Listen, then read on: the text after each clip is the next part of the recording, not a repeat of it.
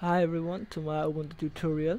In this tutorial I want to uh, talk about some uh, that is about the Ubuntu window manager.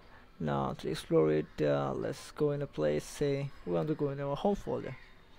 So we are in our home folder and this is the window you are getting.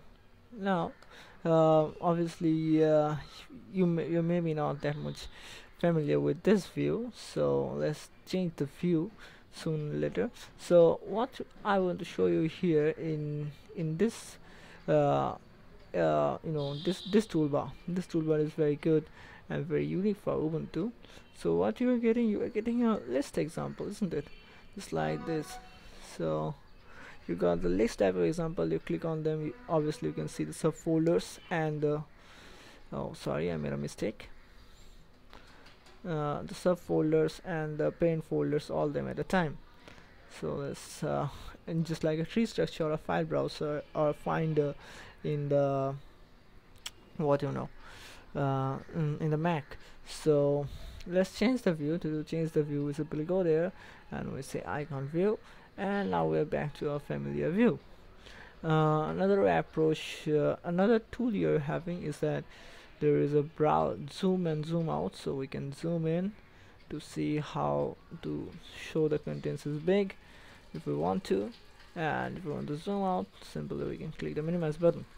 So really we can change it to our taste. Now the most important part is the location. This shows that absolute path where you are. So if you are on the root it will give you the root and there there is user so wherever you are will show the location.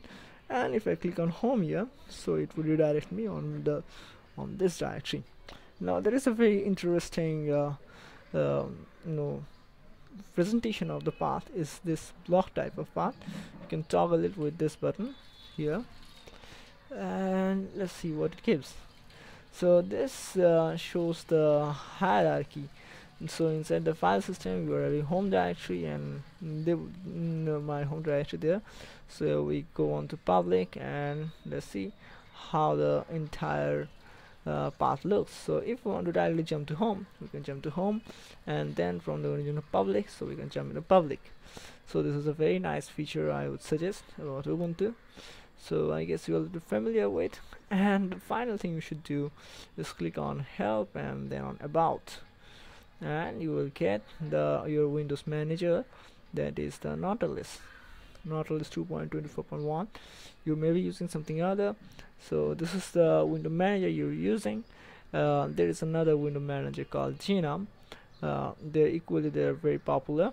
So this is for the tutorial. So remember the usage of this icon view this view and this block view.